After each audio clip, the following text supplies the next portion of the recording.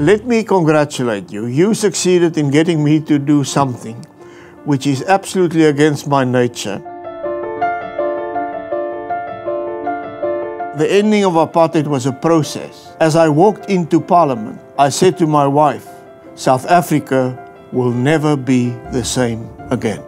The prohibition of the African National Congress, the Pan Africanist Congress, the South African Communist Party, and a number of subsidiary organizations is being rescinded. People serving prison sentences merely because they were members of one of these organizations will be identified and released. I succeeded in taking a majority of whites with me. They could have kicked me out. The fact that I succeeded in convincing them to take the courageous route which we've taken was for me my inspiration. The creative for shooting President de Klerk was shooting the President in his suit in a lotus position without his shoes. I wanted to make sure that this portrait of President de Klerk was a side that no one else had seen before.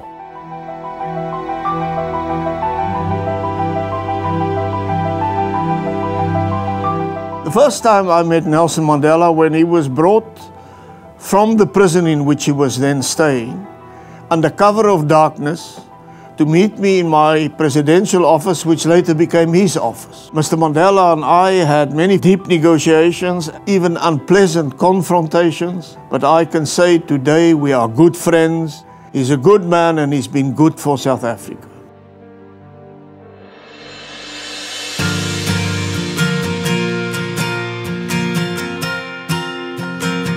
I'm physically too stiff to practice yoga. Also, my way of relaxing is lying down and having a nice book or having a nice glass of South African wine in my hand, basking in the sun.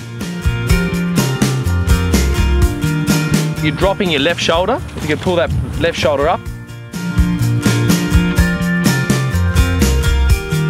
Put your feet together as close as you possibly can. Looks great.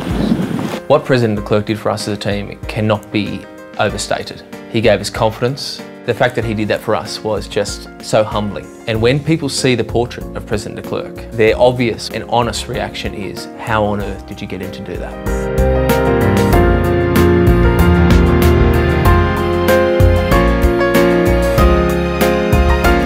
I would advise anybody who says, I want to be like F.W. de Klerk, advise against it.